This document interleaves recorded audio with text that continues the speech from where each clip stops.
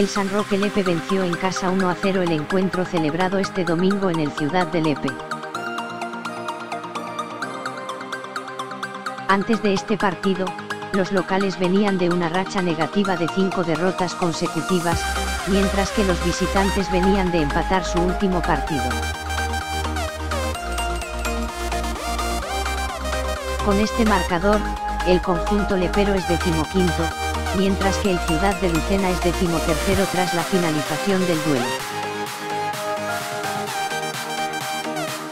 Durante la primera parte ningún equipo consiguió anotar y enfilaron la bocana de vestuarios al descanso con un resultado de 0 a 0. En la segunda mitad, el San Roque Lepe se adelantó en el marcador por medio de un tanto de Igor en el minuto 89 e impuso el 1 a 0, acabando de este modo el encuentro. Los entrenadores realizaron todos los cambios posibles. Por parte del equipo local saltaron desde el banquillo Miguelito, Igor y Robles en sustitución de Pérez, Cruz Corrín y Nico, mientras que por su parte, los cambios del conjunto visitante fueron Manu Reina, Cristian Osuna y Javi Ruiz que saltaron al césped por Quique Roldán, Maruán y Carmona. El árbitro sancionó con tarjeta amarilla a tres jugadores.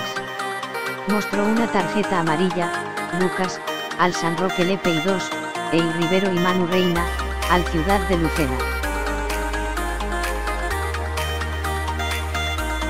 Con 32 puntos, el San Roque Lepe se ubica en el decimoquinto puesto de la tabla general a la conclusión el encuentro, mientras que el conjunto dirigido por Diego Caro Delgado se sitúa en decimotercer puesto con 35 puntos.